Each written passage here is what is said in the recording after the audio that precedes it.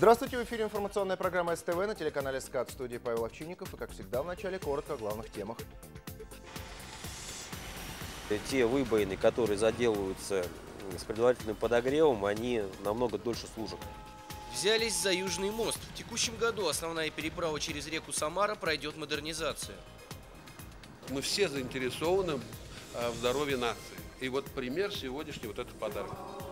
Идеальный лед для воспитания будущих хоккеистов. В столице губернии открылась новая ледовая арена «Кристалл». Уникальность перинатального центра состоит в том, что в нем будет развернуто два блока. В Самаре строят новый перинатальный центр. Располагаться он будет на территории больницы имени Середавина. Карантин по бешенству сроком на два месяца могут объявить в Ленинском районе Самары. Решение в ближайшее время примут областные власти. Собаку с признаками заболевания девушка-волонтер обнаружила 1 февраля недалеко от Самарской площади в сквере Устинова. Пса доставили в государственную ветклинику. Сутки за ним наблюдали врачи. 2 февраля животное скончалось. В областной ветеринарной лаборатории подтвердили, что причиной смерти стало заражение бешенством. Как говорят очевидцы, пес был крупным, вероятно, помесью хаски или маламута. По всем признакам у него были хозяева. Ветеринары просят откликнуться возможных владельцев. Также врачи предупреждают, что людям и животным, которые контактировали с зараженной собакой, срочно нужны прививки. Обязательно вакцинировать всех домашних питомцев независимо, были они вакцинированы или не были, лучше еще разочек перестраховаться и привить всех собак.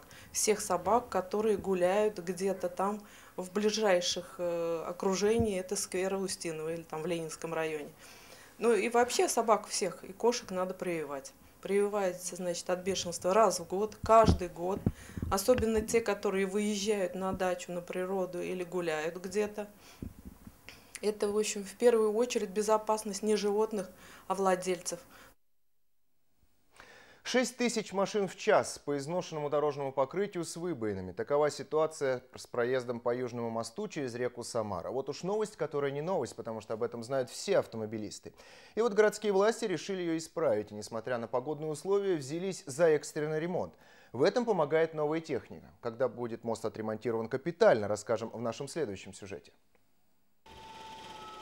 450 квадратных метров выбоин на особо сложных участках заделают на Южном мосту. Ремонт ямочный, но метод новый, экспериментальный. Не только для самарских, но и российских дорог. Используется технология инфракрасного нагрева дорожного полотна, что позволяет ремонтировать в холодное время года. На тестирование данной техники претендовала Казань, но властям Самары удалось первыми получить машину в бессрочное пользование. Пока преимущества очевидны. То есть э, те выбоины, которые заделываются с предварительным подогревом, они намного дольше служат. Э, то есть это экономия идет и денежных средств, и наших э, ресурсов. Не будет уже такого негатива от э, жителей, горожан, что вот сегодня заделали, завтра там все вылетело. Эффективность и скорость экстренного ремонта накануне проверил глава администрации Самары Олег Фурсов. Работы ведут в вечернее и ночное время, чтобы не создавать пробок. Нагрузка и так 6 тысяч машин в час. Завершить планируют к концу недели. По расчетам дорожников заплаты продержатся до лета. При необходимости их будут обновлять. Технику перебросят на другие проблемные участки, в том числе Ракитовское шоссе. А за Южный мост возьмутся капитально. 10 лет здесь не было капремонта. Важные элементы конструкции изношены на 70 10%. Поэтому, конечно, мост заслуживает давно капитального ремонта. И мы в этом году получили необходимое финансирование, чтобы ремонт провести. В совокупности этот объем будет где-то 220 миллионов рублей. Немножко нам не хватает, около 40 миллионов, чтобы дотянуть ремонт до кольца. Но я думаю, мы эти деньги найдем в процессе вот текущего исполнения бюджета. Если говорить о ремонте Южного моста, то он начнется осенью текущего года. Мы проектно-сметная документация почти готова. Время выбрано с учетом интересов горожан. Работы начнут после окончания дачного сезона, чтобы не перекрывать одну из основных трасс южного направления. Максим Остриков, Эдуард Растегаев, СТВ. Высококлассный лед для юных хоккеистов. В Самаре в поселке Мехзавод открылась новая ледовая арена «Кристалл». Отмечу, что за последние два года в области было введено шесть новых катков. И темпы строительства спортивных комплексов будут только увеличиваться. Подробнее наш корреспондент Катерина Колонтаевская. Несколько лет назад, в честь начала строительства будущей ледовой арены, Валерий Губарев получил автограф от своего кумира. Знаменитый хоккеист Владислав Третьяк расписался на его клюшке. Сегодня на деревянном снаряде появился второй автограф. Владелец говорит, что теперь его самодельная клюшка – бесценный раритет. Из фанеры выпиливали, клеили казеином, марли обматывали. Это самодельный. Это был дефицит. Сегодня юные спортсмены экипированы как профессиональные игроки. Но самое главное, у них есть свой высококлассный лед. Новый спортивный комплекс «Кристалл» отвечает всем современным требованиям. Новый дворец построен на территории жилого комплекса «Новая Самара». Застройщик – строительная компания «Финстрой». Цена этого проекта более 470 миллионов рублей. И губернатор Николай Иванович, когда мы с ним разговаривали, он сюда пришел, я говорю, ну надо хоккею помогать. Лада ушла из Суперлиги, в КХЛ не играет, у вас э, стадионы старые. Он говорит, Владислав, я построю 10, посмотрите. Буквально за несколько лет уже пятый стадион. Вот, поэтому я очень рад, что губернатор понимает, что сегодня спорт объединяет людей. Планируется, что этот ледовый комплекс станет базой для хоккейной молодежной лиги. В его стенах будут воспитаны чемпионы, которые будут достойно представлять Самарскую область в масштабах страны. Очень красиво здесь все сделали. Раздевалки очень хорошие. Там даже есть место для вратарей. С, э, на улице, если смотреть на этот дворец, то зеркальный, очень красивый. По словам областных властей, планируется построить спортивные комплексы во всех районах области. В сентябре этого года будет введен в эксплуатацию Ледовый дворец в Сызрани. В ближайшие годы начнется возведение ледовых арен в Жигулевске, Чапаевске, Кошках. Отдельная площадка появится и для самарских фигуристов. Им нужны условия, ну, немного отличающиеся от хоккея, и мы это будем делать для них, для того, чтобы можно было, в общем, там э, шлифовать мастерство или там, в общем, делать все, чтобы э, воспитывать э, спортсменов самого-самого высокого уровня. Как подчеркнул Николай Меркушкин, в области необходимо построить порядка 30 ледовых дворцов, чтобы на собственной базе готовить олимпийских чемпионов. Катерина Клонтаевская, Николай Сидоров, СТВ. Самаре строят новый перинатальный центр. Располагаться он будет на территории больницы имени Середавина. Строительство идет полным ходом. Это будет современное здание с новейшим оборудованием. Для работы в многофункциональном перинатальном центре привлекут только лучших специалистов, если будет необходимость, в том числе и из других регионов страны. Наш корреспондент Александр Семенов оценил масштабы строительства. Новый перинатальный центр соединится со старым. Это будет целый многофункциональный комплекс, рассчитанный на 300 мест. Там планируется принимать порядка 5000 родов в год, в том числе и самые сложные случаи. Уникальность перинатального центра состоит в том, что в нем будет развернуто два блока – акушерский и неонатологический. Вот это изюминка перинатального центра. Что такое неонатологический блок? Это три отделения, э, в которые входят отделение анестезиологии и реанимации для новорожденных, отделение новорожденных и отделение второго этапа выхаживания. Детей будут выхаживать даже с экстремально низкой массой тела, от 500 граммов. Также для новорожденных будет операционная для экстренных вмешательств. Стоит отметить, что последние годы рождаемость в регионе растет. Только по итогам 2014 на свет появилось 38 тысяч младенцев. И строительство перинатального центра было крайне необходимо. Коек для роженец, например, с патологиями беременности зачастую не хватало. Новый комплекс во многом поможет решить эту проблему. Выставляем опалубку второго этажа. Вот, залили уже техподполье, подвал, первый этаж. Приступили к работам по второму этажу. В Самаре новый корпус многофункционального комплекса будет сдан к лету 2016 года. Александр Семенов, Олег Галочкин, СТВ. Областные власти продолжают решать проблему обманутых дольщиков. Их число сейчас значительно сократилось. Только по итогам прошлого года в эксплуатацию введено 6 объектов в Самаре. Об этом говорили на заседании Межведомственной комиссии по урегулированию вопросов долевого строительства в регионе. Однако проблема, конечно, еще не решена до конца. В Самарской области еще остается около полутора тысяч человек, участников долевого строительства. В списке проблемных остается также еще 16 объектов. Работа в решении этой проблемы сейчас активно ведется. Решение проблемы обманутых дольщиков – один из приоритетов правительства области. Губернатор Николай Иванович Меркушкин в своем послании особо подчеркнул, что необходимо окончательно решить эту проблему э, и не допустить появления новых обманутых дольщиков. Коммунальное бездействие. Жильцы пятиэтажки по проспекту Кирова 143 не могут добиться от управляющей компании внимательного отношения к их проблемам. В частности, подвал заливает нечистотами уже не первый год. Но ответственные лица на все жалобы и просьбы жильцов просто закрывают глаза. Илья Егоров подробнее. Проспект Кирова, 143. На протяжении последних нескольких лет состояние подвала вызывает у жителей серьезные претензии. Помещение часто заливает канализационными стоками. Коммуникации со своими функциями уже не справляются. Запах и постоянная сырость для дома стали делом привычным, но жильцов такое положение дел совсем не устраивает. Просто-напросто фетикалии спускаются, трубы все сгнили, все льется в подвал.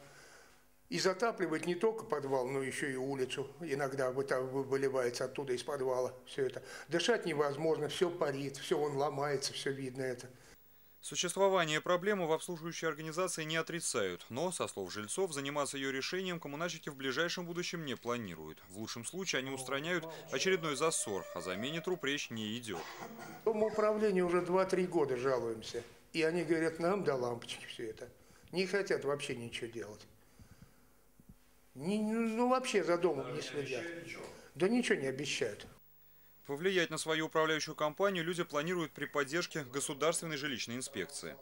Илья Егоров, Николай Епифанов, СТВ. Сейчас прервемся ненадолго и смотрите далее в нашем выпуске. Еще у нас э, иностранные языки. Устная часть введена. Не только тесты. В едином госэкзамене расширена творческая составляющая. Впервые в десятку лучших подразделений Федеральной службы судебных приставов России вошло наше областное управление. За год окончена работа по исполнительным производствам на 45 миллиардов рублей. Сотрудников заботит не только пополнение федерального и областного бюджетов, особых успехов добились по взысканию алиментов. А новых методов, которые реально работают. Дина Сметанова.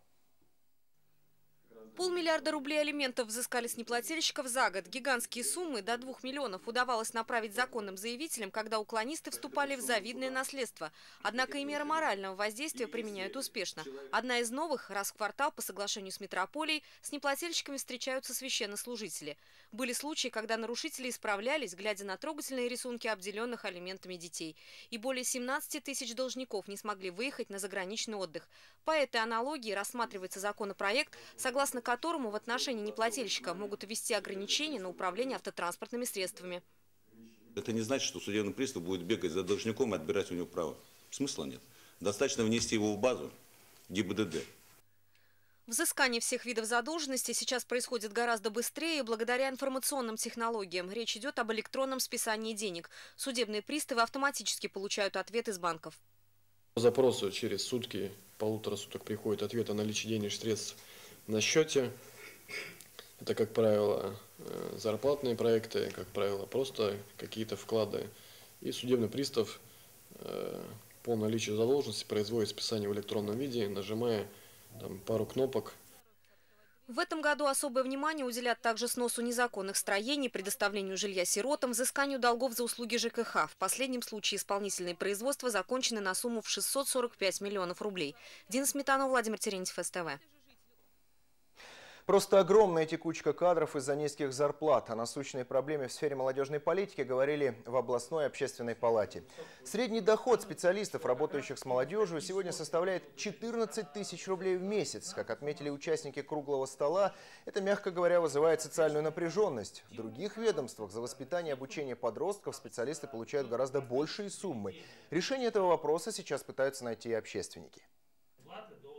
Данная проблема особенно ярко, и в том числе по нашим оценкам, которые мы провели, конечно же, видна в сельских муниципалитетах.